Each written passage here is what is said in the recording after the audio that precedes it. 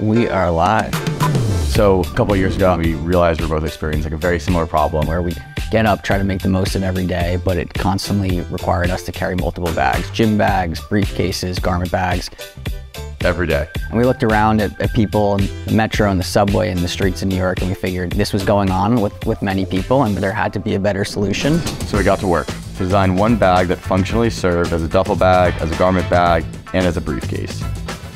From a functionality standpoint, it allows you to bring everything you need throughout your day. Somebody who's traveling, someone who's on the road. It's just like the perfect size. It fits under an airline seat in front of you. We have a few hundred bags out there in the wild. We get texts, we get videos, people using the bag all around the world.